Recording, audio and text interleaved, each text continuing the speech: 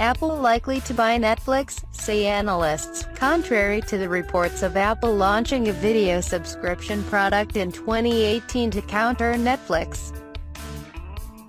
Analysts from Citi have said that the iPhone maker could possibly buy the entertainment company by taking advantage of U.S. President Donald Trump's corporate tax cut. According to Citi analysts Jim Suva and Asiya Merchant, there is a 40% likelihood that Apple will acquire Netflix. Under the new taxing rules, the tech giant will be able to repatriate about $220 billion in cash to the U.S. The firm has too much cash, nearly $250 billion growing at $50 billion a year.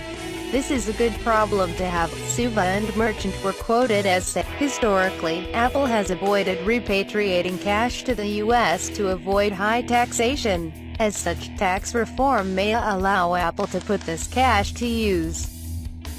With over 90% of its cash sitting overseas, a one-time 10% repatriation tax would give Apple $220 billion for mergers and acquisitions MA or buybacks.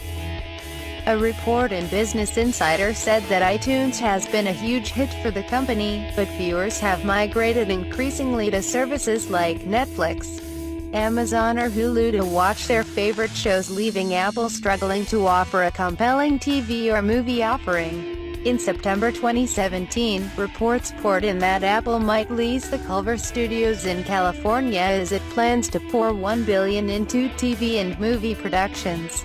Google-owned YouTube is already producing original television series and Amazon has won Oscars for Manchester by the Sea show. It's reportedly developing a new TV show that will star Reese Witherspoon and Jennifer Aniston.